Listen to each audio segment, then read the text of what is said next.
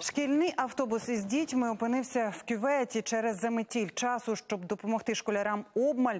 До порятунку миттєво залучили чимало служб: ДСНС, поліцію, Нацгвардію, прикордонників, службу відновлення. У кожної своє завдання: перекрити ділянку дороги, розчистити автошляхи, надати людям першу допомогу і доправити до пунктів обігріву. На Київщині відбулися спільні командно-штабні навчання за співпрацею управлінців, рятувальників, водолазів, саперів та військових спостерігачів.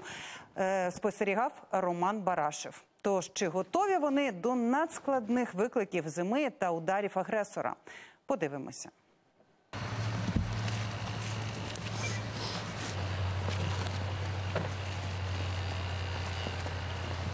Це е, наслідки ракетного обстрілу, безпечні залишки ракети Х-55. Залишки без бойової частини, яка була збита в повітря і детонувала в повітрі. Це частина справжньої рашистської ракети. Зараз її використовують як модель для навчань, що проходять на Київщині.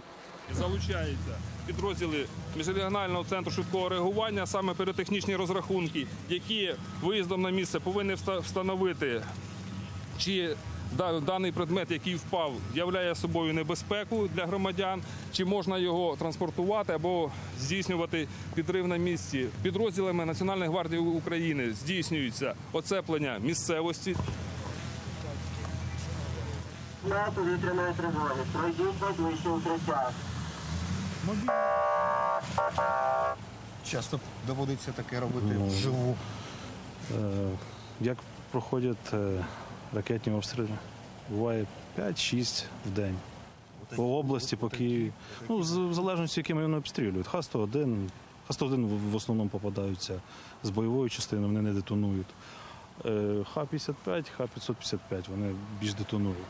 Сьогодні опадів нема, температура повітря близько нуля, але учасники навчань навмисно моделюють надскладні зимові умови з хуртовинами та заметіллями. Загруз автобус з дітьми. Ми залучаємо підрозділи Національної гвардії і прикордонної служби, які будуть допомагати вивільнити цей автобус, доставити сюди і людей в пункт обігріва. Автобус у кюветі в умовах хуртовини таке може трапитися. Часу допомогти людям обмаль. У небо злітає дрон. Він передає всю візуальну інформацію на екран монітора у пункті управління, що облаштований у наметі. Рух уже перекратує, як бачите, це в режимі реального часу. потрапив перемети. Під'їжджає техніка Національної гвардії, за допомогою якої буде здійснюватися буксирування автобуса. Така сама автівка буде витягати автобус. Автобус, буде витягувати автомобіль Нацгвардії Варта. Броньований автомобіль, вироблений в Україні, легко справляється з завданням.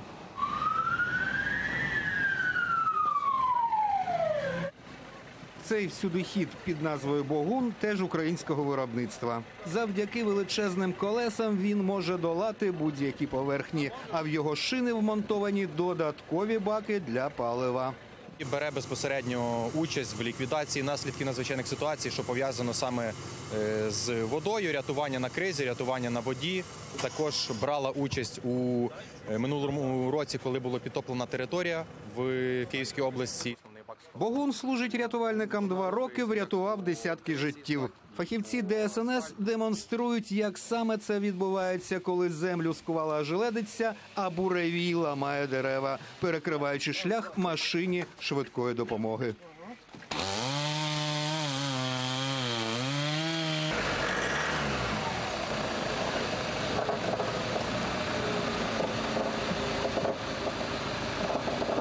Ми проводимо ці навчання вже другий раз, тому що вони дуже важливі для того, щоб ми контролювали та бачили, як е, в повній, повній синергії працюють наші служби під час надзвичайних ситуацій, коли були перші опади і снігом засипало всю область.